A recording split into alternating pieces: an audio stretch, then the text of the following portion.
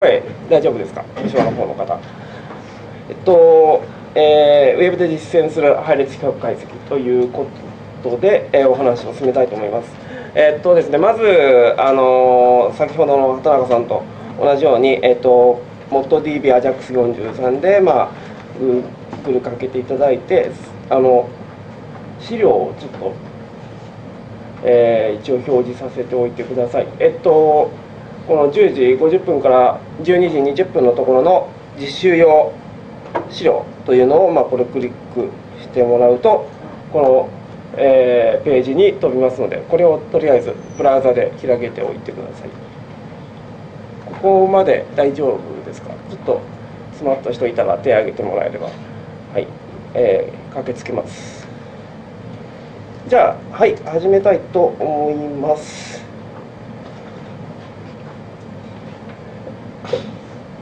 と、まあ、私、あの原と申します。よろしくお願いします。理研の CDB といって神戸にある研究所なんですけども、そちらから来ました。で、まあ、今までまあどういうことをやってきたかって言いますと、まあ、基本的には、えっと、進化学を中心とした配列解析をやってきていて、まあ、その中でデータベース作ったりとか、それからトランス自治体シーケンサーを使ったトランスクリプトーム解析なんかを行っています。それで今日お話しすることは、まあ、3点、えー、相動性検索それからマルチプラライメントそれから分子系統解析、まあ、それぞれ、ま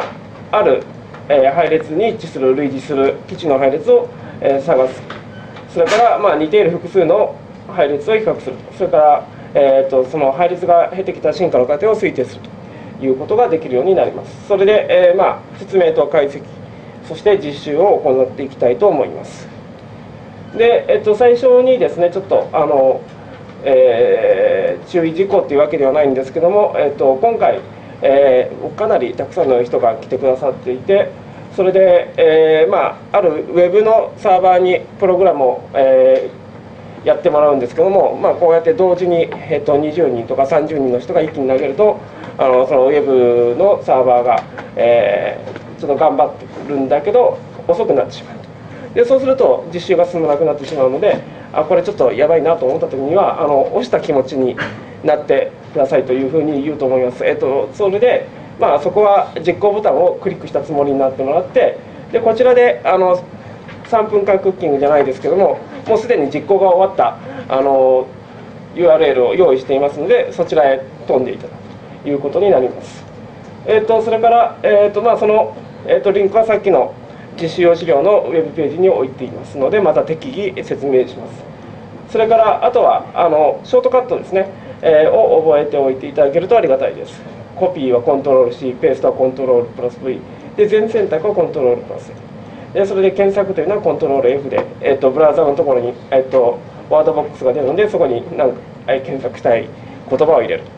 それから、まあ、Mac の場合はコントロールの代わりにコマンドを使うということぐらいですかね。でそれであとはいくつかの結果ファイルっていうのは使いますので、まあ、なるべくタブで開いたらそのまま置いておいて、まあ、スペックがちょっと,、えーと、ここに置いてあるパソコンはちょっと古いのでちょっと不安かもしれないですが一応、はい、あのブラウザーを閉じずに置いていただけるとありがたいです。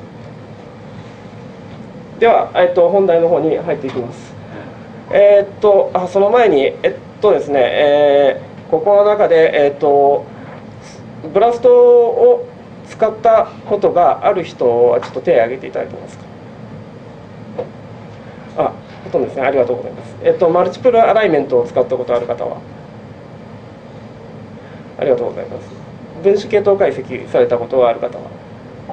ほとんどいらっしゃる。わかりました。そうすると、まあ、あの大体皆さんあの相動性検索プラスをかけることには馴染みがあるけど、まあ、その後、えーと配列の比較解析っていうのはえー、まあ、初めてと。馴染みがない方が多いというような感じですね。えっとまあ、ですので、まあ、ここら辺についてはもう分かっていることと思いますが生物の情報を配列で表すことができてでそれで、まあ、我々が持っているゲノム情報ですね DNA を、えー、ATGC の4文字で表すこと。ができるで RNA の場合は、えー、っとチミの代わりにウラシル U で、えー、表現する。でタンパクについては、えー、アミノ酸配列一次構造のアミノ酸配列を、えー、一文字のアルファベットを用いて表すことができるということが、えー、まあ、基本としてあります。でこの配列について相動性検索をかけるっていうことになるんですけども、えー、まあ、ある素性不明の、えー、DNA 配列であったり、えー、タンパクの配列があったときにそれをデータベースに問い合わせて、えこの素性不明の配列と似たものがありますかというものを、え似たものがありますかと問い合わせるわけですね。その時に一致するものがありますよとか類似するものがありますよっていうのを、まあ、統計量をえー、元に、えー、出力するということになります。それで、えーとまあ、相動性検索とは言うんですけども行っていることは相動性というよりは類似性検索です。似たものを取ってくる、まあ、一致するもの。まあ、一致するというのは類似性が100%ということですけどもこの似たものを取ってくるということで類似性検索という方が、えー、正しい表現かもしれないです。で相動性っていうのは何かっていうとえー、進化的な起源が同一であるものということです。でそれはあの類似性を伴うということです。でまあこれは代表的な例なんですけども、えー、この人の、えー、腕ですね。前足。で鳥の羽。で、えー、コウモリの翼、まあ、こあるんですけどもこれらは、えー、それぞれ前足の骨を使って、まあ、この2つですね鳥とコウモリは飛ぶという性質を持ってるんですけどもその、えー、ウイングの骨をあ作っているものはこれ前足の骨からできているということです。ただ、えー、まあ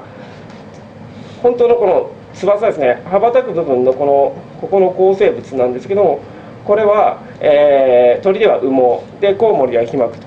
で、えー、これはそれぞれの系統で独立に、えー、進化して生じてきたものでえー、進化的な起源は同一なものではないのでこれはアナロジーというふうに言います。それで、えーと、配列の相動性という言葉なんですけども、えーと、類似した配列は、えーと、同一の祖先から進化してきたという前提があります。これはどういうことかっていうと、えー、まあ、このアミノ酸配列であったり塩基配列なんかは、まあ数百個数千個がまあ連なって並ぶわけなんですけども似たものが、えー、と独立にたまたま似たものが独立に生じるということは確率的にありえないと。なのでおそらくそういう数百数千も連なった、えー、配列というのは進化的な起源を持っていてそこから少しずつ変わってきたんだろうということが考えられますなので、えっと、ちょっとあの難しい話になる、まあ、ですけども、えー、っと転写因子の結合サイトとかそういう数塩基しか、えー、使わないようなものについてはたまたま、えーと、独立した系、えー、それぞれの系統で独立に生じるということはありえます。でそれで、えーとまあ、相動な遺伝子というのは、まあえーと、相動な機能類似した機能を持つことが多いということが知られています。で例えばこれあの症状映えとそれからマウスのホックス遺伝子群というものなんですけどもこのホックス遺伝子群っていうのは、えー、染色体上に並んでるんですねポンポンポンとでそれでその構造は、えー、症状場合でもそれからマウスでも、えー、保存していて、まあ、マウスの場合はその保存されたクラスターというのが4つあるわけなんですけどもでそれでこの機能っていうのは、まあ、大まかにはその肺発生の時に、えー、前後軸を決めるわけですねで前後軸にそ、えー、前後軸それそこぞそれぞれのコンパートメントの発生をの運命を決めていくわけなんですけどもこの並び順によって前に発現するか後ろに発現するかっていうのが決まります。ということは、えっと、症状場でもマウスでも、えー、保存されているこの2つはもう、えー、もう運動ですねもう 6, 6年以上前に分岐しているにもかかわらず、えー、クラスター構造をとってでそれでクラスターの並び順ごとにその前後軸に発現が決まるということは、えー、保存されているわけです。それで、えー、っとまあ、こうやって相動性という言葉が出てきたんですけどもじゃあ類似性とどう結びつくかということを、まあ、最後にちょっと話しておきますと,、えー、と2つのあるものの、えー、類似度がある1よりも高い時に、えー、と相動性と相動であるということを言います。これはどういうことかというと、えっと、類似っていうのは定量的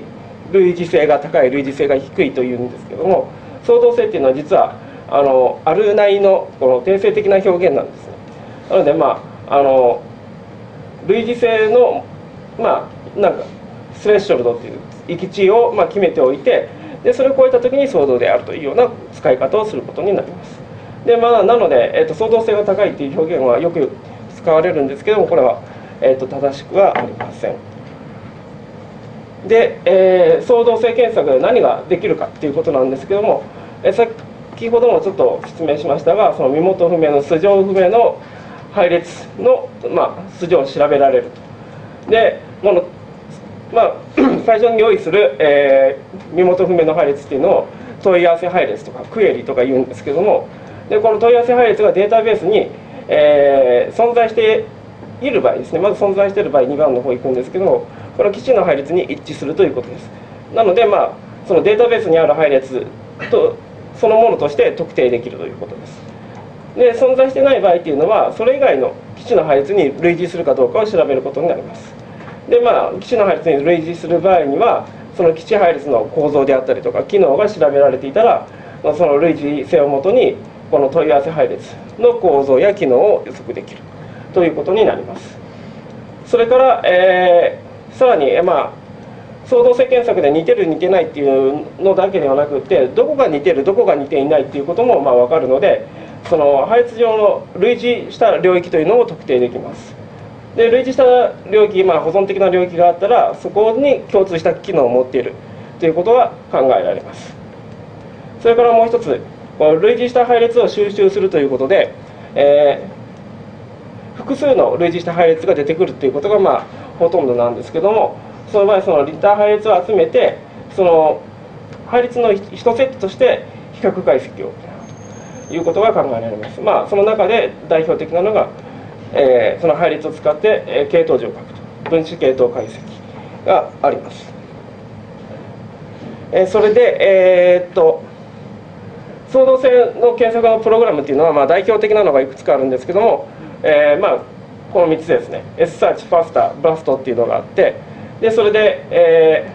ー、と速さと正確性っていうのでトレードオフがあります、まあ、といってもその、えー、ブラストがあの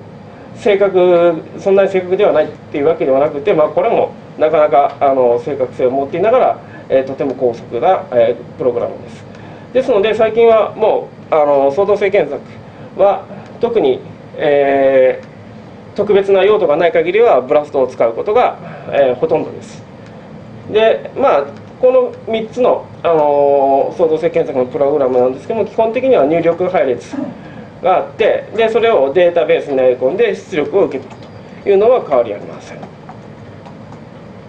それで、えーと、まずここの、えー、流れをもう少し詳細に、えー、お話ししたいと思うんですけども、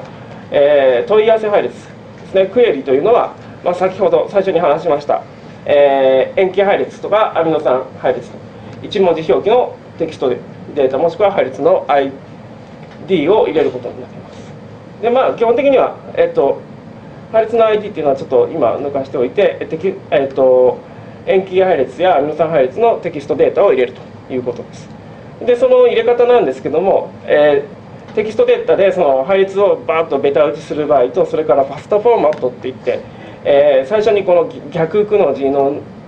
次に、えーと、ID であったりその配列の種類であったりとかっていうのを書いてその下に、えー、テキストベータでえ配列をバッとベタ打ちするという、えフォーマットなんですけどもこれがよく用いられます。上の方はこれは、えーと、塩基配列のファーストフォーマットの、えーと、書き方で下は、えーと、アミノ酸配列のファーストフォーマットの書き方です。それで次は、えー、この問い合わせ配列をデータベースになります。でデータベースっていうのは何かっていうと,、えー、と塩基配列であったりアミノ酸配列の集合体です。で、えー、まあ基本的にはあの自分でこのデータベースを作ることもできますが、えっと、今日の、えっと、講習では、えー、公共データベースのあの配列データベースのことに限ってお話ししますと、まあ、公共データベースではまあ目的を持って集められてその、えー、機能やゲノム構造などの注釈付けをされています。でど,、まあ、どんなあのデータベースがあるかっていうと、まあ、まず網羅的に集めてくるというデータベースがあって、えー、それは、えー、DDBJ、エンブル、ジェンバンクといった、えー、これ日本とヨーロッパとそれからアメリカですねのコンソーシアムが作る、えー、塩基配列の大きなデータベースであったりとかユニプロットという、えー、タンパクの、えーと、アノテーションがされたデータベースがあります。それから配列の特徴に従って集めてくるという、えー、ミアベースというマイクロ RNA のデータベースであったりそれから HLA 領域のデータベース。それから生物種を限って集めてくるというアンサンブルという、えー、モデル生物の動物のデータベースであったりとか、まあ、あとは各種のゲノムプロジェクト。それぞれに、えー、の種でデータベースを配列のデータベースを作っていることがあります。それで、まあ、こういうほとんどのあの公共データベースっていうのはウェブ上で実行できるブラストを持っています。でそういうのを、まあえー、っと必要に応じて使っていくことができるわけです。でこれはその最初、えー、ジェンバンクのあのページなんですけども NCBI のページで、えー、ここにもブラストの、えー、サイトがあります。これはユニプロットのページでユニプロットにもブラストを検索ができできるページがあってそれからアンサンブルのページにも、えー、ブラストのページがあります。で最後に、えー、出力なんですけども、えー、問い合わせ配列があってそれをで配列データベースに投げて それでその配列データベースの中の、え、類似配列の間の、え、類似性を出力します。でまあ類似度っていうのはがあるんですけどもこれは何をもとに決めるかっていうと問い合わせ配列とちょっと飛ぶんですけども類似配列の間であのアライメントをするわけ。配列のアライメントをしてでそれでまあこう整列させてやってどこが似ているどこが似ていないというのをこう出します。でその中でその似ている度合いっていうのをビットスコアでアライメントスコアとそれから E バリューという、えー、ビットスコアとそれからデータベースの大きさに、えー、従う関数なんですけどもえー、偶然に類似してしまったと期待されるデータベース中の配列数。でそれから、えーと、アライメントされたあこの問い合わせ配列と類似配列の間の、えー、一致度というような尺度があります。でそれで、えー、あとは、えーと、このアライメントされた領域が、えー、これだと、えー、1番目から56番目までの配列。で類似、えー、類似配列の方も例えば1番目から60番目までの配列が似ていますという すいません、えー、類似する領域という、えー、尺度も出ます。で最後に、えー、アライメント自体も、えーと、ブラストの出力で、えー、出すことが、まあえー、ほとんどの場合あります。それで、えー、まあ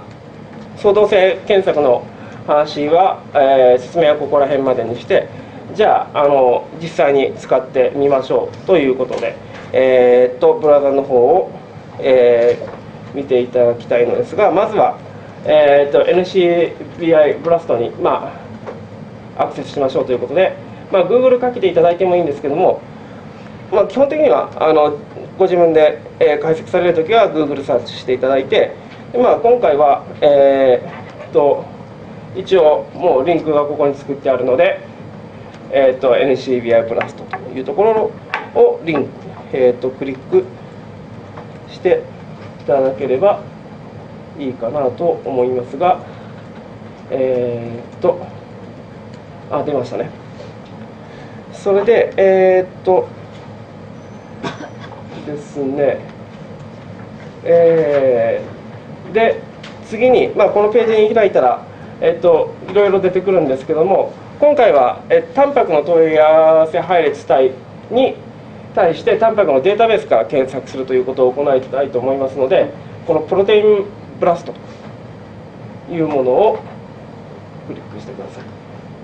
一応ここのページまで開いたらちょっとタブを見ていただいて皆さんタブブラウザですかね？第一。大丈夫ですか？はい。そしたらさっきのページに戻っていただいてちょっと,、えーと、スクロールしていただくとこの BLAST 用クエリという配列っていう項目の下に BLAST 用クエリという European seabass の Nanog という、えー、ES 細胞の、あの全能性を、まあ、維持するのに今必要な重要な遺伝子なんですけども、まあ、その配列があるのでえー、っとそこをクリックしていただいてでこの逆くの字のとこからですねえー、っと選択していただいてコピーをするとコントロール C ですねコマンド C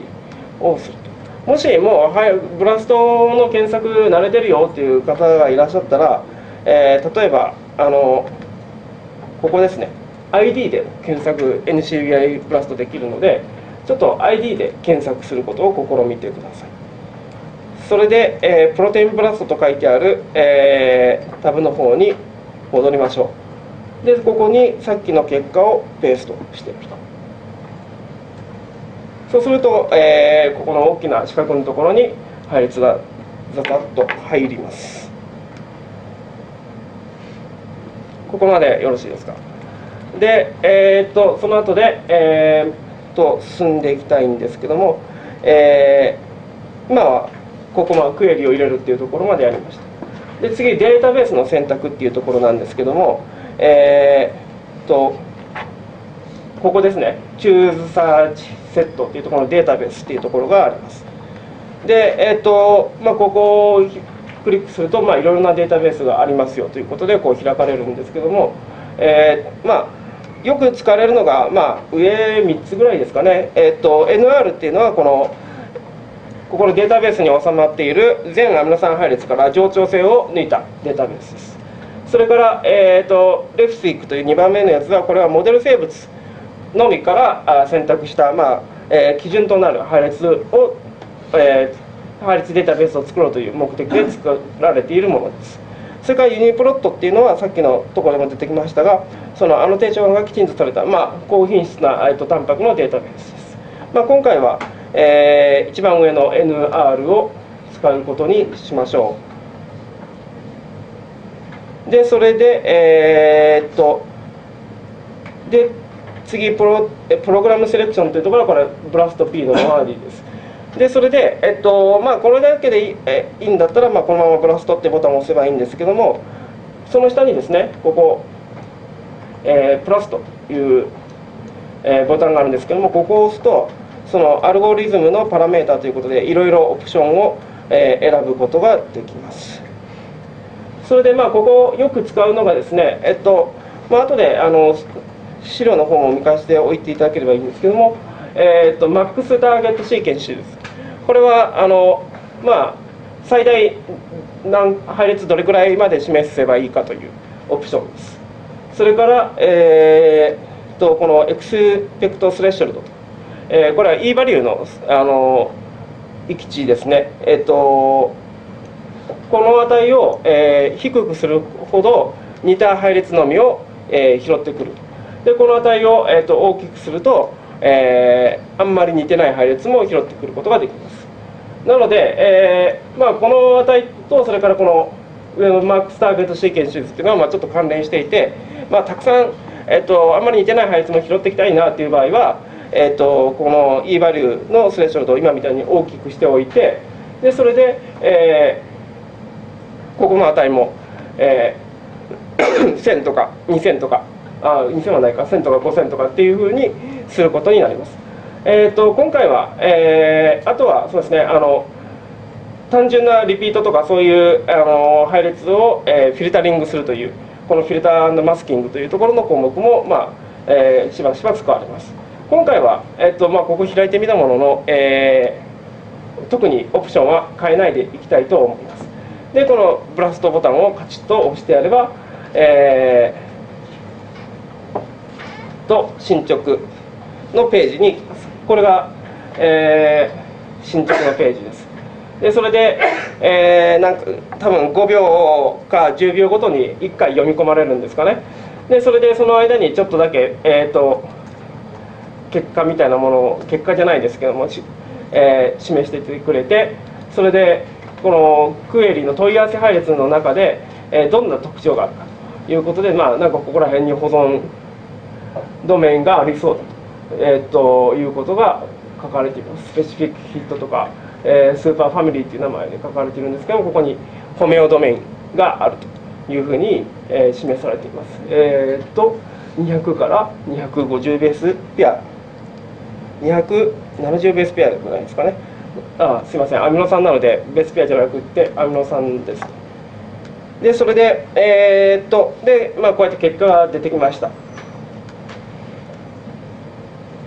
でえー、っとそうですね結果なんですけどもまず1番目は一番上のグラフィカルな出力のところです。ここですね。でさっき言いましたように、まあ、保存ドメインみたいなのがこう示されてるということとそれからここの下の部分ですね、えー、ここの下の部分はその問い合わせ配列クエリーのとに対してその類似配列が、えー、どういうふうにヒットしてきたかと。この棒の一本一本がそのヒットしてきた類似配列です。でそれでまあ一番上のやつは、えー、真っ赤で、えー、最初から最後までこう、えー、棒があるわけなんですけども、えーまあ、この棒の長さというのはそのアライメントされた長さ。でそれで、えー、色はですねここに書いてあるんですけども、えー、スコアですね。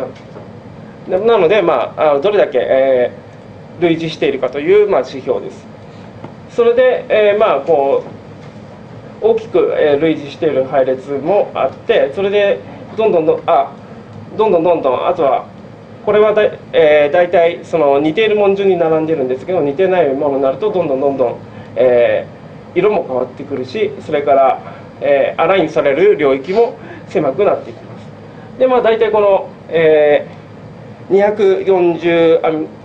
ノ酸残基の前後にこう似た配列が固まってきていてこれはどうやら、えー、ホメオドメインとまあまあ大体一致するなということが分かります。でまあこれがグラフィカルな出力で、えー、その下に行くと、えー、 descriptions という、えー、ところですね。ここに来ると、まあ、これが、えー、と結果のサマリーのようなものです。これもえー、とおそらく、えー、マックススコアの順に並んでるんですかね、まあ、似た文順に並んでいます。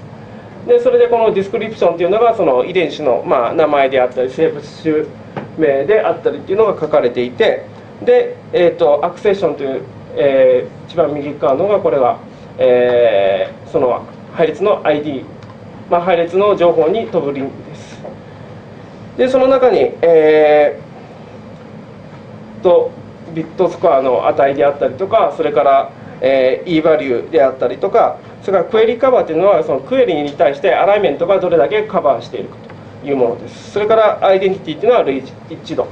が、えー、載っています。それで、えー、っと実際に上から2番目の、えー、ものをクリックこの description の中の上から2番目のリンクをクリックしてもらうとこうパッと、えー、アライメントの画面に飛びます。でこれはさっきの、えっと、 European seabass という問い合わせ配列に対して、えー、この例は何でしょうね。えっと多分この魚の多分魚類だと思うのですがと名前が分かりません。のですいません。ちょっとスキップして3番目に行くとこれはメダカですね。えっとメダカの配列に対して、まあ、こういうふうに、えー、アラインされますよというのが出てきます。それで、まあ、さっき見たようにこの問い合わせ配列の240アミノ酸前後のところがよくアラインされているというのが分かります。これは、えっと、クエリとそれから類似配列の中にあるのがそのどれぐらい似てるかっていうようなアライメントに対してどれぐらい似てるかっていうのを示しているところで、えー、アミノ酸配列が一致するところはこのそのアミノ酸配列でそれから物理化学的性質が一致しているところは、えー、プラスという文字で書かれています。まあえっ、ー、とこんな感じで、えー、ブラストの結果を、えー、見ることができます。それでですねえっ、ともう一回、えっとここのサマリーの画面に戻って今度えっと失礼しましょう。えっとアクセッションのところをクリックしてもらうと実際にえこれ今上から3番目のアクセッションナンバーをクリックしたわけですけどもえー、そうすると,、えー、とそのヒットしてきた類似性類似性のある配列の、えー、情報のページに飛ぶことができます。それでここ書いてある通りジャパニーズメダカと書いてあってそれでまあえっとそれからいろいろ、まあ、情報が書いてあります。でここら辺については多分あの NCBI の配列データの見方っていうのはおそらく統合 TV とかに、えーと、あると思いますのでここでは、えーと、簡単にしかあ詳細には説明しませんけども、えー、また統合 TV などで、えー、もし見方がわからない方いらっしゃいましたら確認していただければいいかなと思います。それで、えー、っとこのブラストの結果のタブに戻っていただいてそれで一番上ですねこのブラスト P スイートというところがあるので、えー、とこれまあクリックすると最初のブラスト P の検索の画面のところに戻りますでえっ、と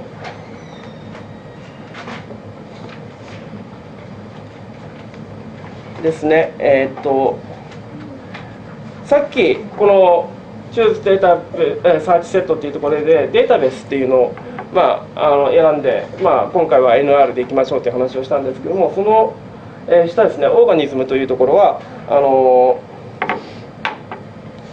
えー、っと生物種や、えー、っと系統を選ぶことができます。例えばえっとえー、ホモ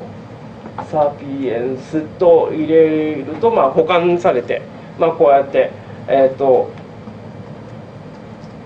ホモ・サピエンスで出てきます。それで、えっ、ー、とこのプラスボタンで系統の数を増やすことができてそれで、えっ、ー、とじゃあ週ばっかで回り出しということで、えっとバーテブレイト脊椎動物。っていうのを入れると、まあ、これも保管されて出てくるのでちょっと入れたところで出てきたのを入れる。でもまあちょっと今検索したのは脊椎動物だけど人はいらないかなという場合はこのエクスクルードのボタンをこう押してやれば、えっと脊椎動物の中でも人以外のやつをあのブラストで、えー、検索しますよというような指定ができます。それであとはですねあのもう一つえっとアンサンブルというサイトがあって、えっと、こちらでもえっと、種を特定してブラストをかけることができます。それでアンサンブルというのはあ今までのところのもうタブはもう消してもらって構いません。でアンサンブルというのはこれは最初の講義用の資料のあこれだけ残しておいてください、でこの、えーと、リンクからいけるんですけどもこれがアンサンブルのトップページです。それでこのえっと、アンサンブルのデータベースの中には、えー、ゲノムプロジェクトで解読された動物のあのゲノム種が、えー、多く含まれています。ここです。これスライドのページと同じなんですけどもこんな感じで、えっと、種のリストがあって、えー、っとアルパカダやったりとかこのアノールっていうトカゲであったりアルマジロであったりもちろん、えー、人やマウスやそれからチンパンジーとかいう、えー、よく知られたモデル生物も入っています。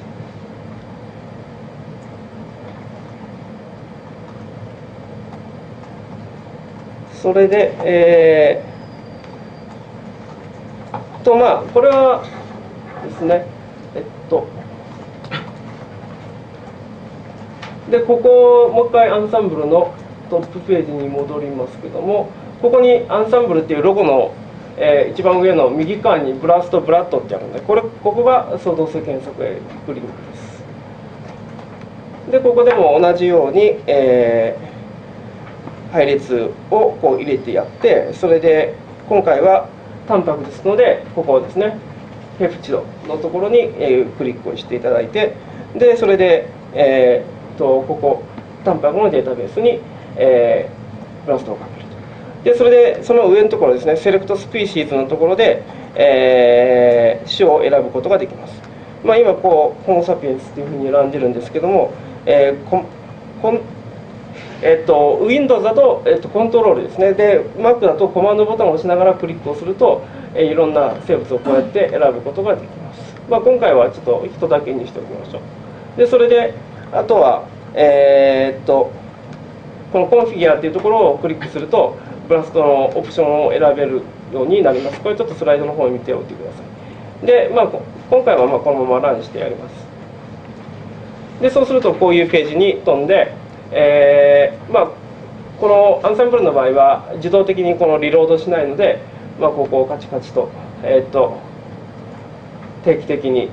えー、押してまだかなまだかなと、えー、何回かリードをするとこうやって「ビュー」という、えー、ボタンが出てきたらもう、えー、検索は終わったという証拠です。でこれをクリックしていただくと、えー、この今回はあのー、さっきの NCBI とは違ってあの週ごとに、えーと、データベースをあの作っているという、えー、形になりますのでもう少し詳細な情報が出ます、えーと、これは染色体のどこに類似配列があるという情報ですね。でここはまあさっきと同じですね、えっ、ー、とクエリに対して、え、どこにアラインされるかという、え、情報が出てであとここにヒットしてきた配列は似たものから順番に並んでいます。で、えー、とここにさっきの、えー、と染色体上でこれ人ゲノムの染色体上でどこにヒットしたかっていうこともそのタンパクの情報と一緒に、えー、と表示されます。でその似た配列を、まあ、こうクリックしていくと。そうするとえー、実際にトランスクリプトのページに飛びます。でまあ予想通りこれは人のナノの、えー、遺伝子に引っかかってきます。でここにまあいろいろあの保存ドメインであったりとかシーケンスのあの手段ごとのバリエーションであったりとか、えー、そういう情報が載っています。でまたこのアンサンブルについてもここではあの詳細に見方は説明しませんのでこれもまた統合 TV などを、えーと、ご覧いただけるとありがたいです。えー、っとそれで、えー、っとまずこの相動解析相動性検索のところで課題を行いたいと思います。でえっとさっきのこの実施用資料のところのちょっと下の方にだいぶ行っていただくと、え課題1という出てきます。でそれで、えーと、人グリスワンというあの後で僕見ておいていただいたら、えーとまあ、グリスワンっていうのはどういうものかっていうのがちょっとここのリンクの先に載ってるんですけども、えーとまあ、これはあの iPS 細胞を作るときに、えーと、このグリスワンというテンション1も一緒に入れてやるとその iPS の、えー、さが作られる効率というのが増すということで非常に今ホットな、えーと遺伝子なんですけどもえー、それの、えーと、アミノ酸配列もしくは塩基配列を用いて相動性検索を行いましょうということです。でそれでまああのグリス1に相動な遺伝子はどういうような名前かということとそれから、えーと、相動なアミノ酸配列間ではどの領域をまあ共有しているかと。それから、えーと、もう一つは、えー、とグリス1のオーソロクはチンパンジーゲノムと、えー、マウスゲノムのどの位置にあるかというところですね。ここら辺をちょっと見てみたいと思います。でまあ手順はその下に書いてあります、えー、まずはえっと LCBI ブラストでえー、っとレフセクから取得した人グリスワンのアミノ酸配列をクエリーとして人に、えー、限定した NR のデータベースに対してブラスト P を実行するでさっきのオプションで E バリューの域値を、まあ、1E-20 この通りに入れてやればいいんですけども10のマイナス2乗として単純配列をフィルタリングするという流れでやっていただきたいと思います。で説明してなかったところがあるのでえー、っとですねえっと Google でまあ NCBI と入れていただいて。で最初のページのところですね。でここの上の検索窓のところでオールデータベースじゃなくて下の方に行くと多分プロテインというのがあるんですけどもここを入れていただいてでそれでグルリース1ホーモサピエンスと入れてやるとまあえー、いいんですけどもさらにこの左のところですね。この左にいろいろ並んでるんですけどもそこで、えーと、ソースデータベースっていうのがこの2番目のところにあります。これでリフスイックっていうのをこうで絞ってやるとまあ本当もうほぼ2つに絞られて上がまあ正しい答えなんですけどもこの配列が拾ってもらいます。でそれでえっ、ー、とそのページに行ってここに「ファスタ」というクリックがあるのでこれをクリックしていただくと、えー、この今回問い合わせ配列として使いたい配列が出てきます。まあ、これをコピペしていただいて今度 NCBI ブラストの方でかけていただくということになります。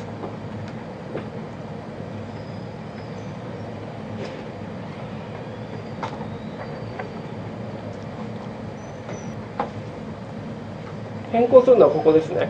あえっ、ー、と、エクスペクトスレッショルドというところと、このフィルターというところ。ここにクリックを入れるのと、ここを1マイナス10って書いてあるところを1マイナス20というふうに書いてあります。それからあとは、えー、ここですねオーガニズムのところにホモサピエンスと入れてやればいいです。まあ、できるだけまあ他に使ってこのタックス ID コロン9606というところまでこのきちんと入るようにしてやってください。でこれで、えっと、プラスとかけでちょっと追いつかなかった人はえー、っとですねえー、っとまあここまでやって答え実習の答えっていうのが、えー、っと実は、えー、もう作ってありますので、えー、っともっと下に行って一番下ら辺ですねこう実習の答えというところにリンクをクリックしてやると、えー、課題1の、えー、ブラストの結果が、えーえー、っとあアミノ酸配列塩基配列の答えとそれからブラストの、えー、結果が出ています。でこれでポンと出てくるわけですね。でまあえー、っとちょっと、えっと、時間も進んできたことなのでちょっとブラストができたということにして、えー、ちょっとお話ししたいと思うのですが、えっとまあ、これがブラストの答えで。でえー、っと問いは何でしたっけ？えっと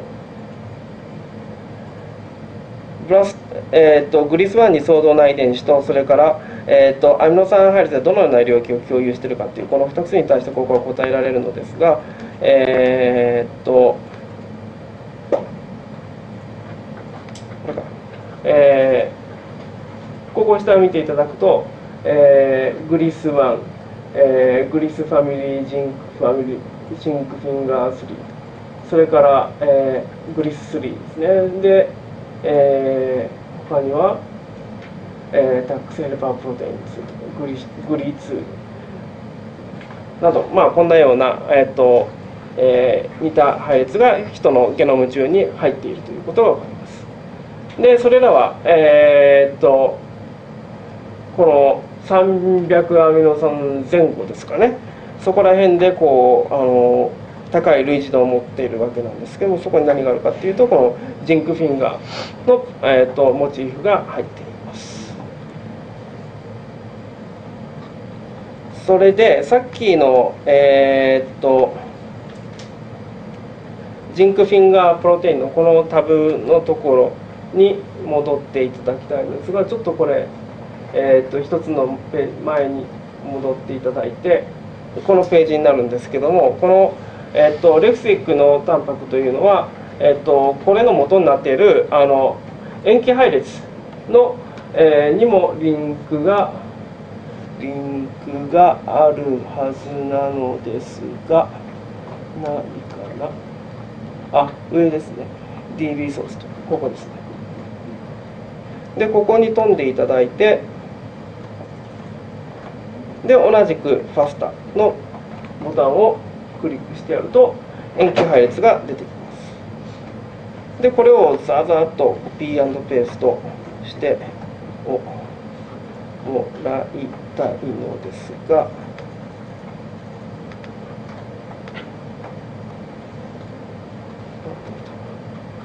でそれまずこれをコピーしておいてでもう一回この実習用資料のところに行くとってもらってアンサンブルのリンクを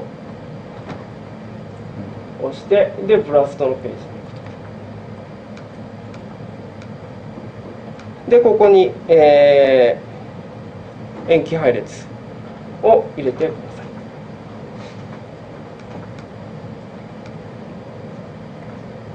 それで今回は DNA のクエリなのでここはそのままでいいです。でえデータベースはゲノミックシーケンシズのこれでいいです。であとはここでマウスと、えー、チンパンジーを選ぶわけですが、えー、アルファベット順に並んでいるのでここをスクロールしていくと、えー、ムスムスカラスというマウスの、えー、これですねマウスをこれ選択してもらってでもう少し、えー、下にえー、スクロールしていくと、えー、これですね。パンドラッグコイですねこのチンパンジーの、えー、指名を、えー、コントロールもしくはコマンドを押しながらクリックすると。でそれで、えー、っとセレクトダサーチツールというところでこれをプラスと N にしてもらってランをいう流れです。ちょっと1個でも、あ、1個いきましたね。もうちょっと1個だけ見ておきましょう。マウスの方はできたようなので、このビューボタンを押して、え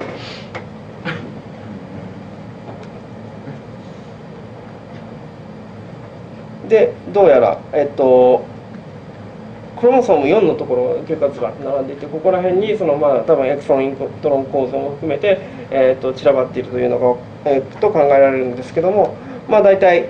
えー、クロモソーム4番の、えー、107メガベース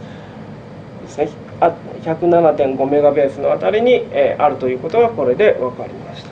まあ、同じように、えーと、チンパンジーの方も見ていただくとそういうふうに答えが分かります。というところが、えっ、ー、と相動性検査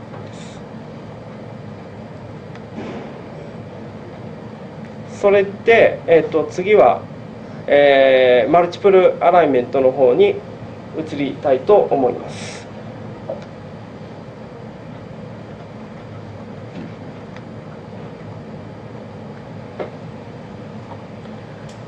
で今までは相当性検索というのはあの基本的にはえっと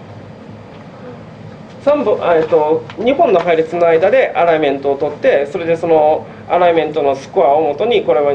どれぐらい似てるかっていうのを指標にしてきたものなんですけども今度は、えっと、3本以上の配列を、えー、ですねそう3本以上の相談な配列がそれぞれ対応するように成立させるということがああマルチプルアライメントです。それで、えっとまあ、こうやってあのいくつか相当な配列がずらっと並んでいるだけではえーと、どうやって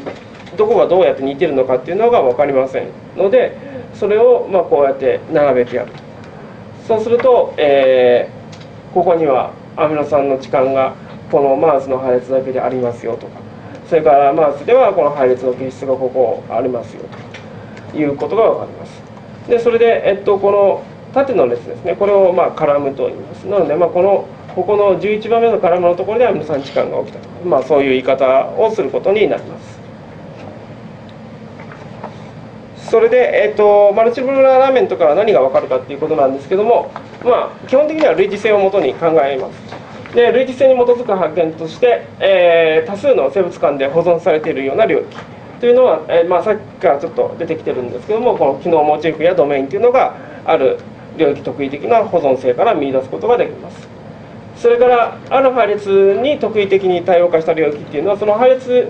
ですねある一つのだったり、まあ、複数の配列のみに起きているということでそれは、えーと、と線の淘汰であったりとかそれからもう遺伝子が壊れかかっていると偽遺伝子になっているとか、えー、まあ、あの周りから比べてあの異常に壊れてしまっているとか異常に変化がある場合っていうのはそれは何らかの、えーと、生物、えー、進化学的な、えー、イベントが起きていると。いう可能性があります。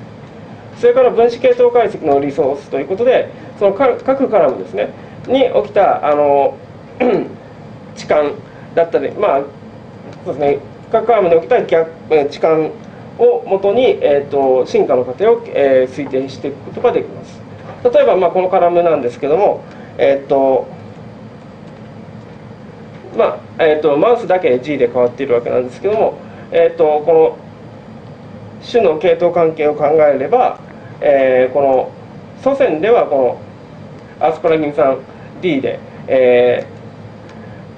ー、祖先はアスパラギン酸 D だったんですけどもそのマウスに至る過程で D から G に置換したということが分かります。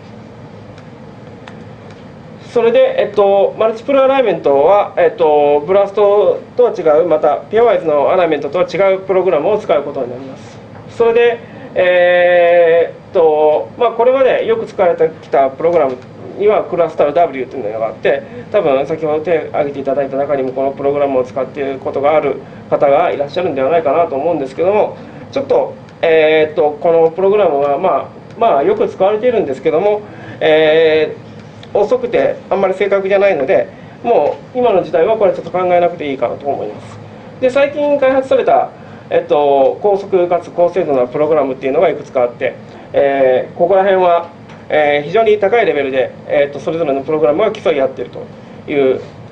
ところなんですけども、まあ、その中で今回紹介するのはこの MACT という、えー、アライメントのプログラムです。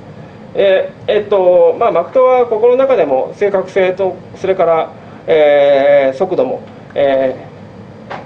ー、この高いレベルで競っている中でも優秀なプログラムで、えー、あと、えー、日本の、えーと、研究者の方が作られています。それで、えーと、Mac とはですねもともとはその Linux とかそのワークステーションの中で、えーと、コマンドラインで、まあ、あの動かすように作られてきたきてはいるんですけども、えー、とこの Mac の、えー、と開発者がそのオンラインサービスも提供していて、えー、ウェブ上での利用も可能です。それでえっとそうですねさっきの、えっと、この実習用資料のところの、えー、マクトのリンクがあってでそれでそこをクリックしていただくとこのマクトのページに飛ぶんですけどもここにオンラインバージョンというのがあるので、えっと、ここをクリックしていただくと、えーこのオンラインでこのマルチプルアライメントを使えるというページに飛ぶことができます。それで、えー、っとじゃあ実際にこれを使ってみたいと思います。で、えっと、もう一回この実習用資料のページに飛んでいただいて、で、このマルチプルアライメント用配列というのがこの配列の2番目のリンクにありますので、これをクリックしていただくと、えー、ここの逆くの字のところからずっと下の方まで、えー、コピーしてください。でこれをさっきのマフトのインプットのところにポンとペーストしてやればいいのですがあれ？これはちょっと待ってくださいね。えっと開業があまりきれいに指定されていないのでうんちょっといまいちですね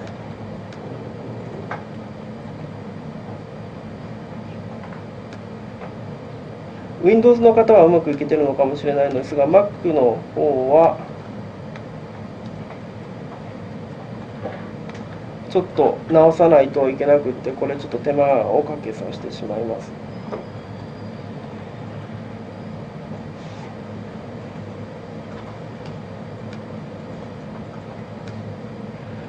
で、えっと、すみません、えっと、これやってると時間がかかるので、まあ、えっと、ちょっとここは、まあ、ここれをこの配列を入れたと思ってください。それでえー、っと入れてそれで、えー、まあ、このままにしてここの submit っていうボタンがあるのでこれをカチッと押した気になっていただいてえー、っとそれで,、えー、でそれでこれはあのマルチプルアライメントされた結果で、えー、とこれはクラスタルフォーマットというもので各配列があってそれでそのアラインされた、えー、状態というのをこう表します。それでここの続きは下の行に。ここの続きは下の行に。ここの続きは下の行にというふうになっていてここにそのアラインされたステータスというのがその各、えー、とブロックの下のところに載っていて米印というのは、えー、完全に一致していると。でから、えー、とコロンとか、えー、とピリオドというのは、まあ、コロンの方が類似度が高いんですけどもよく保存されているとというふうに表されます。でそれで、えっと、このファストフォーマットっていうところも、えー、押すと、えー、さっきのマルチファストの形で、えー、表示されます。でまあこれはあのあんまり、えっとえっと、見た目でよく分かりにくいので、えっとえー、その見るためには使いにくいんですけども、えっと、コンピューターで計算させる時とかはよく使うフォーマットです。でそれで、えっとまあ、こうやって、まあ、見て、まあ、大体どこが似てるな似てないなっていうのはこの文字を見てたらなんとなく分かる気はするんですけどももう少し視認性を上げたいなということでこの一番上ですね JAL ビューというリンクがあるんですけども、えー、これを、えー、クリックしていただくとちょっと,、えーと、重くなって、えー、起動しにくいのでどういう画面が出てくるかっていうだけでもちょっとお話ししたいと思います。それでえっと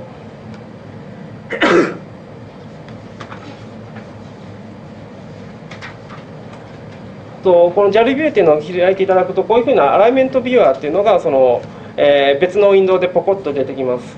でこれはあの、まあ、どの OS かでも Windows の方でもその Mac の方でも使えるという、えーと、アライメントエディターでで今回はその Java のアフレットという形でウェブサーバーからこう出してくるわけですけども、えっと、このプログラム自体をダウンロードして自分が見たいアライメントを、え手元にあってそれを見るということもできます。それで、えっとまあ、アライメントの編集や表示、え方法の変更もあのいろいろ可能です。でこうやって出てくるんですけども、えっと、ここに配列名があってでそれでこうアライメントが表示されてそれであの色の表示、え、方法っていうのもいろいろあるんですけどもこれは、えっと、アミノ酸の物理化学的な性質を、えー、元に、えっと、色付けを行っています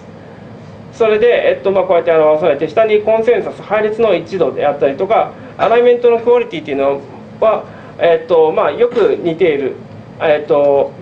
カラムの中でアミノ酸の構成がよく似ているところっていうのはまあ、比較的まともにアラインされているだろうということが考えられますのでそれを指標にしている、えー、値です。それからコンセンサス配列が下に、えー、載っていて、まあ、コンセンサスの確からしさと。いうのがこの黒い棒グラフで表されています、まあ、こんなのが出てくるわけです。でそれでえっとまあそれでアライメントの解釈っていうのをこの、えー、JAL ビューの中でも、えーとすることができてで、まあ、これは保存的かどうかっていうことがまあ最大の見るところなんですけども、えー、保存的ならそのドメインモチーフを、えー、ドメインやモチーフを持つ可能性があります。例えばこういうところですね。えっとこれはえっとえっとこれはナノグの配列を使って書いたはずですのでここはおそらくホメオドメインの場所です。でそれ以外のところはもうこうアラインされていても、えー、ギャップがたくさんあったりとかそれからアミノ酸の置換もバラバラバラとたくさんあって、えー、コンセンサスも取れないし一度も低いし、えー、アラインのクオリティも、そんなに高くないという領域です。それで今アミノ酸配列見てきたわけなんですけども塩基配列でも、え、同様に、え、相動性をもとに、えーと、いろいろ解釈することができます。まあ、一つはそのこれはそんなに、えーと、重要なことではないんですけども、えーとまあ、2つおきに類似度が小さいっていう現象が見られるわけですねこの塩基配列のコーディング領域の場合っていうのはこれは単純にその第三コドンっていうのはあの中立な置換を起こすので、えっと、他の第1コドン第2コドンに比べて、えー、置換が起きやすいと。でそういうところはこう、えっと類似度がポコポコポコと低くなります。それからあとタンパク質についても一見まあちょっと似てるけどそんなに、えっと一度が高くなさそうでも、えっと、この色分けをですね、えっと、疎水性か浸水性かというのでこう、えー、色分けしてやってでそれでまあ疎水性のところが赤くなるんですけどもそうするとまあ疎水性でバッと一致しているところがこの筋のように現れます。これは、えっと、いわゆる、えっと、シグナルペプチドっていって、えっと、タンパクの、えっと、N タン側についてでそれで、えっと、それをもとにあの分泌されるかどうかっていうのをあの決める領域です。それで、えーまあ、今はこう相動遺伝子群を用意して、あのいろいろ解析してもらったわけなんですけども、えー、実はですねあの相動遺伝子群を取得するっていうのが一番面倒くさい作業であとそれをやってしまえばあのアライメントかけるたりあの分子系統解析をするだけなのでこの相動遺伝子群っていうのをどううまく取ってくるかっていうのが結構厄介なポイントです。それでえー、っとまあ何が厄介かっていうとその数十もあるような相動遺伝子を一個一個 NCBI からコピペして取ってくるのも面倒くさいわけですしそれからあとどのえっ、とまあ対象とするあのはいえっ、と系統の範囲もありますし例えば脊椎動物まで欲しいとかそれからまああの動物までとかいろいろ範囲があるわけですけどもそれであったりとかそれからあとまあ重複遺伝子がたくさんある場合はどの重複遺伝子まで、えーと、見てみたいとかそれから配列の長さっていうのもあってあのデータベースには完全な配列だけではなくって、えーと、部分配列なんかも入っているのでそれも拾ってきてアライメントするとその短い配列っていうのはもうその短いところしかラインされないわけであの得たい情報というのがなかなか得にくいと。なので、まあ、完全なのが欲しいし、まあ、そこそこの生物種も欲しいし系統もしっかり欲しいってなると、まあ、いろいろ考えることがあったり手で作業することがあったりして、えー、いろいろ面倒くさいわけです。で一つのソリューションとしてこの ALIBS という、えー、データベースですねがあるアシストするツールがあるんですけどもこれはあのと動物の系統に絞られたあのデータベースなんですけども、えー、一つの、えーと、問い合わせ配列に対して複数の動物の、えーと、ゲノムが読まれた、えー、動物のデータベース。なので、えー、基本的に、えーと、多くの、えー、タンパクの配列が、えー、完全に、えー、取られていると。考えられるものだけをピックアップしてきてそれに対してブラストをかけてそこから相当なあの配列を抜き出してこれるというツールです。でそれでこのツールはですねあのマフトと連動していましてあの抜き出してきた、えー、タンパクをさらに、えー、セレクションして、えーと、アライメンマルチプロアライメントをかけるということができます。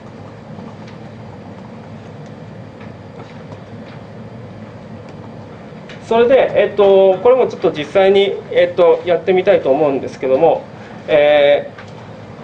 ー、ブラストを、えーまあ、まずここの A リーブスの中で実行することになります。これですね、資料のページの、えーと、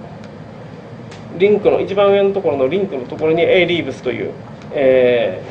ー、リンクがあります。ここをクリックしていただくと、その A リーブスのトップページに、えー、行きます。それで、そのリンクの下にさっき使った European seabass のナノド遺伝子っていうのがあるんでもう一回これを開いていただいて。でこれをコピーして。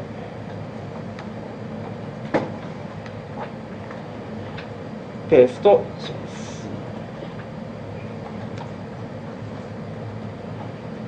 でここまではまあブラストと同じような感じなんですけどもあ NCBI のブラストと同じような感じなんですけどもでさらにここで、えーと、サーチデータベースっていって、えーと、自分が興味持っている、えー、系統を選ぶことができます。上から順番に人からどんどんどんどんあの系統が広がっていくイメージなんですけども最初の2つは人ですね。データベースが違うだけで。で次はノンヒューマンユーセリアンという、えーと、人以外の、えー、と新生哺乳類。で、えー、と4番目が、えー、と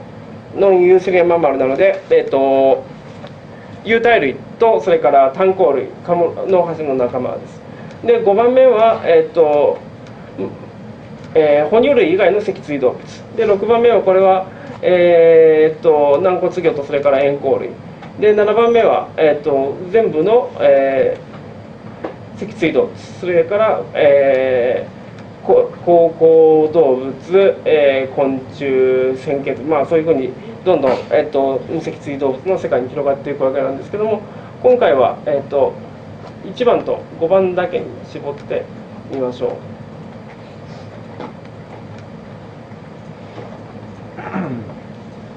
それで、えっと、number of homologs to collect というところは、えっと、100にしていただいて、で、スレッショルド E バリューというのは1の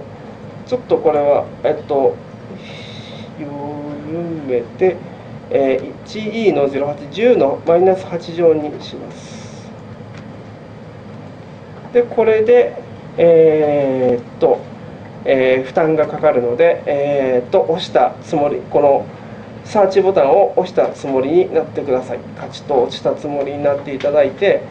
そうすると,、えー、っとそれでもう一回このえー、講義用資料のページに戻っていただいてここですね動物における創造配列の探索というところのブラスト結果の1番目の方のクリックですね。こちらをクリックしていただくと、えー、この先ほどの創造検索の結果のと,、えー、と同じページに行きます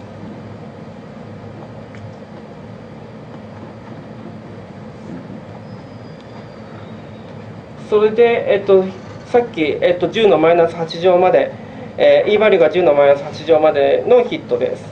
えー、で、最大100本という指定をしたのですが、まあ、その100本の、えーとまあ、100本もしくはそれ以下の配列というのが、ここのリザルトの一番上のリンクですね。えー、コレクティッドシークエンス in multiple star format というところにあります。でその次の List of Collected Sequences with Database Links というのはこれは、えっとまあ、引っかかってきた配列に対してこの、えー、そのソースとなる、えっと、リンク元に飛ぶことができるというページです。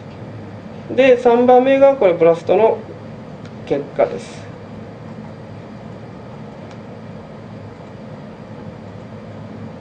でまあこんな感じで拾ってくることができます。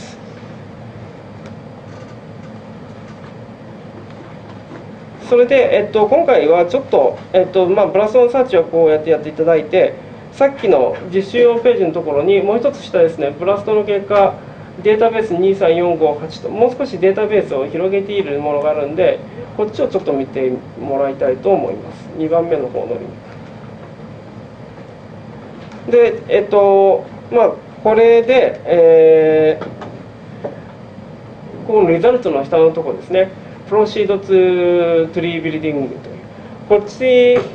の方を進めていくとえー、っと実際に、えー、っとマクトの方に連なって、えー、いろいろ解析ができるようになります。でえー、っとまあここをクリックしてもらってえー、っとちょっと皆さんちょっと待ってくださいね。えっと一応こっちで submit してみてさっきの MAFFT のサーバーの状態を見ながらちょっとやりたいと思うんですけどもえっともう一回、えっと、おさらいしますと、えー、っとここですね、 proceed to tree building のところのこの click here というところを押すと、えっと、今 BLAST の結果で取ってきた相同な配列を MAFFT の方に全部渡すという機能です。でそれで、えっと、こうのと渡してはい OK ですよといくと、えー、あ大丈夫ですね。ここの顔がですねあの今まで進捗の画面あまり見せてなかったんですけどもあそこの顔が笑ってたらついてるっていう状況であのもっと渋い顔になってたらあの混んでるという状況です。でそれでえっとでこのアプリケーションを実行しますかというところででちょっと Java のアプレットがなかなかあの動きにくいので、えっと、もう一回スライドの方に戻りたいと思います。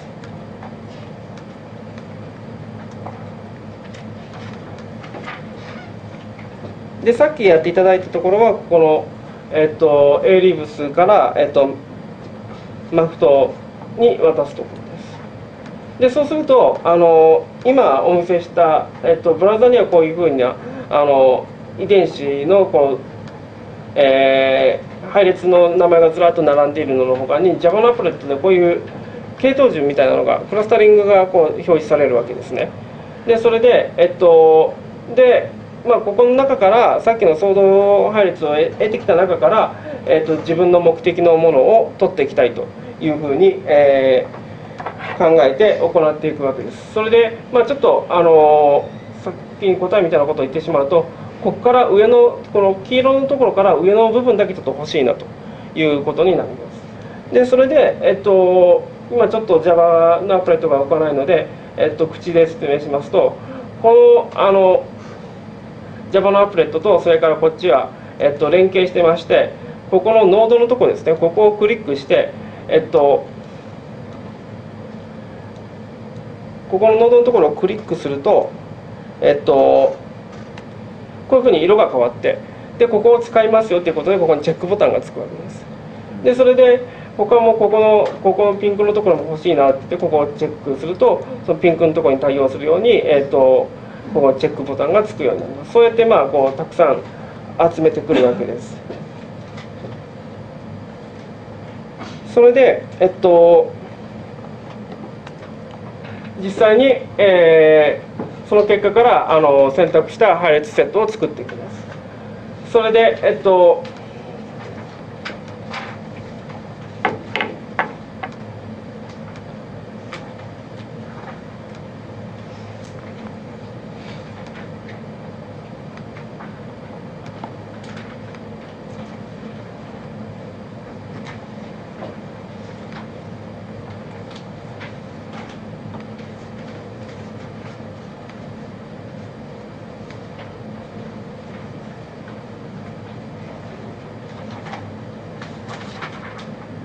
次にえっとですねえっとここのえーっと実講義用の資料の中のフィルタリング1っていうところを選ぶとさっき100本あった配列がえっとまあさっきのクリックの動作で62本に絞られてきます。それでえっとあとはそこでえっといろいろ、えー絞り込みをしてやるわけなんですけども一つはあのこの CD ヒットっていうのを使ってやると、えっと、100%マッチする配列っていうのはもうこれで除いてやろうというものです。でこの100%マッチのものを除いてやるっていうようなことをすることができます。であとはえーとあとはですねこれちょっと目視になってしまうんですけども、えっと、ここの中にはあの一つの遺伝子でスプライシングバリアントが異なるというトランスクリプト一つの遺伝子の複数のトランスクリプトが入っているのでそれを除いてやるというような作業もします。でそれはここにあの遺伝子の ID が載っているので、えー基本的に同じ、えー遺伝子をもの ID を持つトランスクリプトっていうのは、えー近くにあるのでそれを、えー捨ててやる。例えばここですね。えっ、とここのマウスのこの12396っていうのは3つ並んでいてまあこの2つはいらないだろうということでこうチェックを外すというような作業をやってあります。でその結果を、えー最終的にこのアライン the、uh, selected sequence シーケンシーズというところを、えークリックしていただいてアップライっていうのを押すと、えーアライメントのページに飛ぶことができます。それで、まあ、ここは、えーさっきのマルチプルアライメントの条件と同じようなあのページになっていてでこれを、まあ、そのままやりますと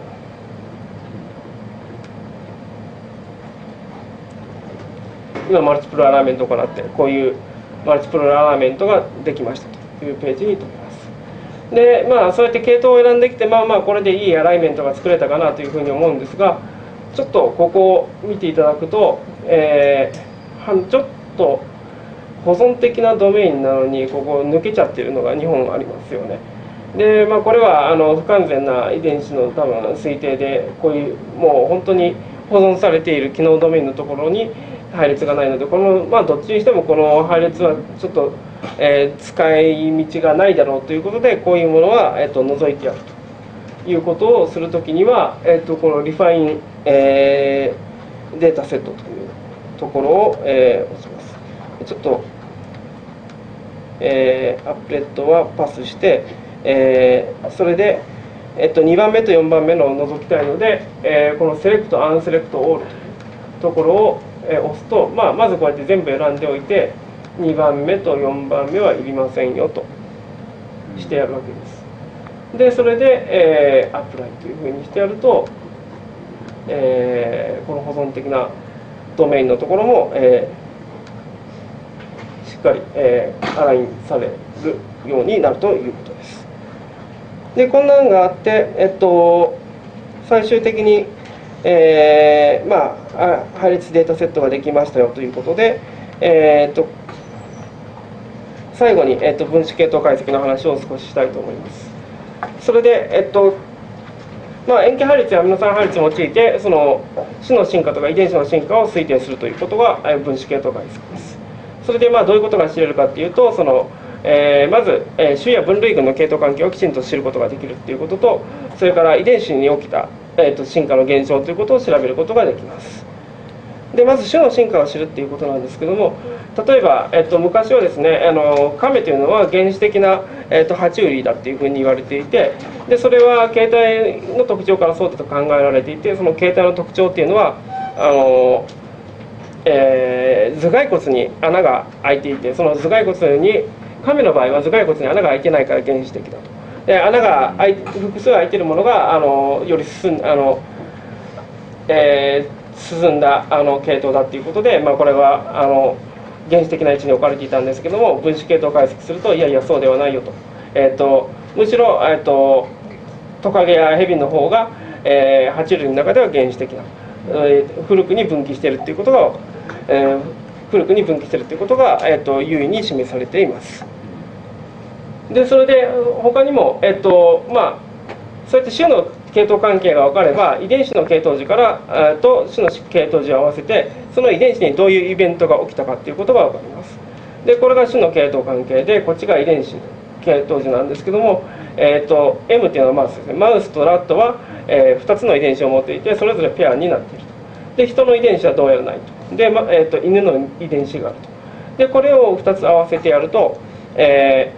ー、人の系統で結質が起きてそれから、えー、月種類の系統で、えー、遺伝子重複が起きたということが分かります。でこの相動遺伝子を系統時に当てはめた時にその相動遺伝子っていうのは2つに分類されて1つはオーソログという主分岐によって分かれた遺伝子のことを指します。でこれは例えば、えっと M1 は、えっと、R1 のオーソログここですね主分岐によって分かれる遺伝子のことを指します。でパラログというのは遺伝子重複によって分かれた遺伝子でえっとあこれすみません。えっとちょっと間違ってますね。えっと M1 は M2 のパラログです。ここ,、まあ、これでも合ってるっちゃ合ってるんですけどもすみません。これちょっと間違いです。M1 は M2 のパラログというような言い方をします。でそれでえっとちょっと時間がないのでここら辺は飛ばしますが、えっと、分子系統解析の手順ということで、えっと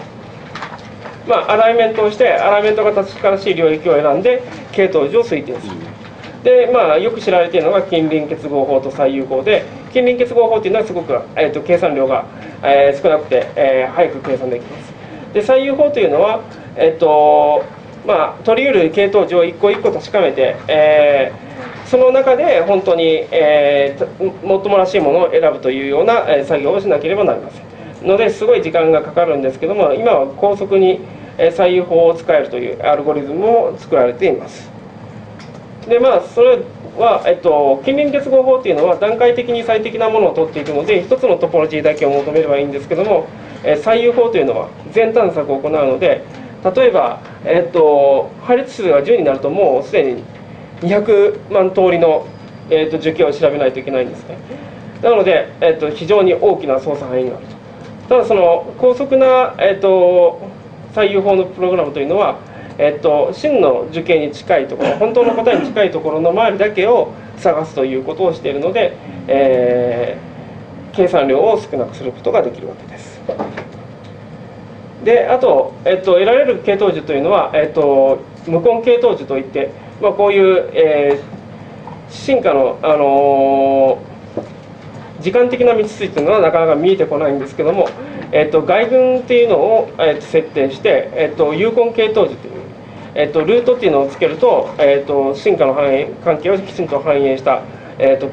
系統樹として見ることができます。例えばこの人とマウスとラットとニワトリっていうのがあったらニワトリがまあ系統的に一番遠いので、えー、とこれを外群としてやればその哺乳類と鳥類の、えー、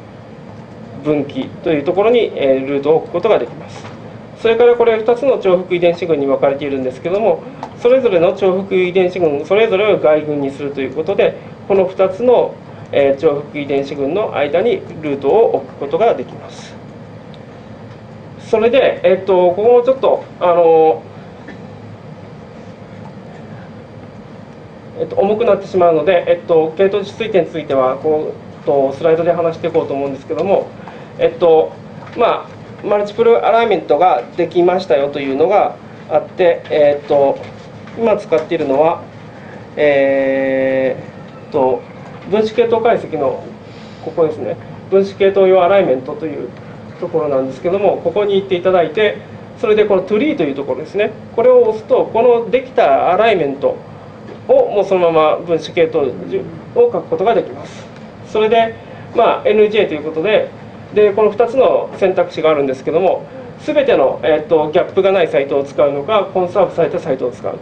まあ、クオリティの高いサイトを使いたいのでこの、まあ、一番上のところにクリックすることをお勧めします。であと置換モデル。でまあえっと、2番目の WAG というのが、えっと、新しい置換モデルなので、まあ、こっちを使うと。で、あとは、えっと、ブートストラップ値を計算するのかっていうのを押して、ここを Go っていうのを押すと、えー、最終的には、え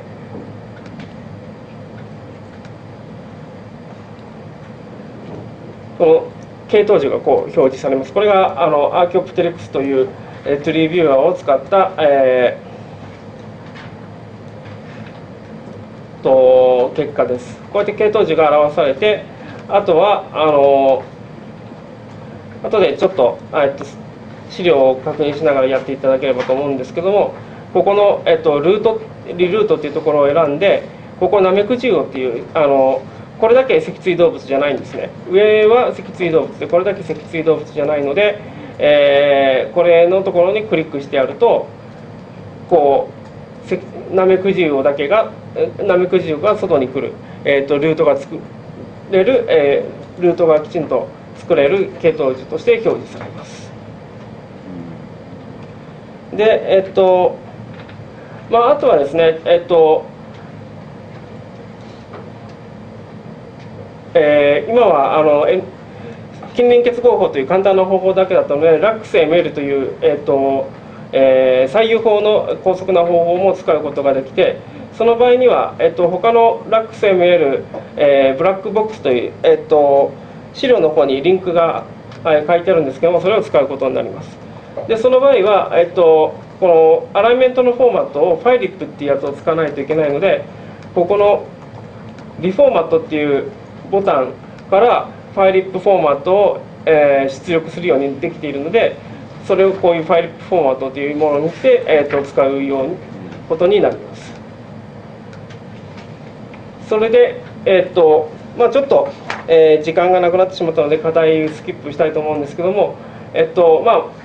もっと簡単に相動遺伝子群を使いたいという場合は、えっと、オーソログデータベースってもともともうオーソロこれが、えっと、相動遺伝子群として確立されてますよっていうのをもともと作っているというデータベースがあって、まあ、これを使えば便利なんですけども、えーえっとまあ、遺伝子データが最新でないとか、えっと、自動的なアルゴリズムで作っているので本当に正しいオーソログかっていうことは、え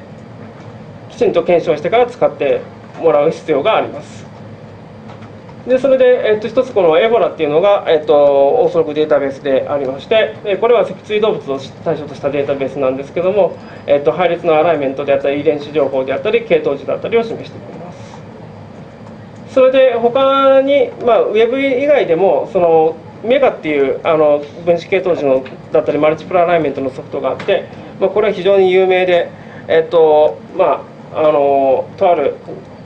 雑誌のインパクトファクターをこれ1本の論文で5ぐらい上げるようなぐらいのお化けなソフトなんですけどもこれを使ったりとかあとは、えー、コマンドラインですと今の MACT であったりそれから LAXML であったりというのもいろんな豊富なオプションで使用することが可能です。でまああのこれはメガなんですけども、まあ、多彩なオプションがあっていろいろできますということなんですけども、まあ、逆に、えっと、いろいろありすぎてどれを使っていいのかわからないということでウェブ使った今のやり方ですとある程度そのオプションも、えっと、絞って、えー、とまあ、選択肢はそんなに多くないけども、えっとまあ、分子系統の人だったりとかそれから配列解析をやってる人たちが、えっと使っている、えー、プログラムを使っを、えー、マクトとかですねあの ML とかを使って、えー、できるようになっていますので、まあ、あの今のウェブを使ったやり方でも十分、えーとえー、いい結果を得られると、えー、考えています。それからあと気をつけることについてなんですけども、まあ、いろいろ便利なツールがあるんですけども最終的には重要なのは、えーとユーザーの生物学的な感性であったりそれから知識であったりというものですでそれはまあデータから、えっと、生物学的に真剣なことを見出すということもそうですしあとデータ自体におかしなところも見出すということも必要になります。でそれはなぜかっていうとそのまあいろいろ解析のデータソフトっていうのはとりあえず結果を出しちゃうんですね。あのあっていうが間違っていようが。だからその取り出しでとりあえず作出した結果に対して本当に合ってるかどうかっていうことを常に、えーと、確認するということを、えー、心がける必要があります。で例えばまあこういうおかしなアライメントがあるわけなんですけどもタンパクがここ揃っているのにここのある1配列だけ、えー、アミノ酸がバーッと変わっていてあなんか面白い進化があるのかなと思いきや塩基配列を見たら、まあ、しっかりアライメントされてるけども、えーと、1塩基挿入があってフレームシストが起きているだけだよというようなこともあります。それから、えっとこれは禁煙の、えっと、人人とチンパンジーのゲノムアライメントなんですけども、えっと、こういう禁煙種ではそのミスマッチというのが非常に、えー、少ないとこうバラバラバラとあるんですけども時々、えー、とこう固まってミスマッチやギャップが存在する領域があるんですね。でそれでまあこれはあの全てが全てではないんですけどもこうやって、えー、とギャップや、えーと、ミスマッチがリッチなところがあるんですけども実際にこの領域をですねあの片方を双方的にこうひっくり返してやるとあの完全一致でアライメントされてしまうこれは何を意味してるかっていうとここはあの単に逆位が1回起きただけですよということが言えます。でそれで、えっとまあ、こんなあの大層なスライドを作ったのは、まあ、これは僕がやってる研究だったからっていう手前味噌なだけなんですけどもえっとまあ、そうやってゲノム中にあるあのアラインされてされるけどもどうやらおかしそうなところっていうのはなんか、えー、潜んでいるということがあり得るので、まあ、それは、えーと、ツールを使ってやっていくにしても常に疑いの目を持っていかないといけないところです。でまあこれが最後なんです。えっ、ー、とちょっと駆け足で説明してしまって申し訳なかったんですけどもえっ、ー、とまああの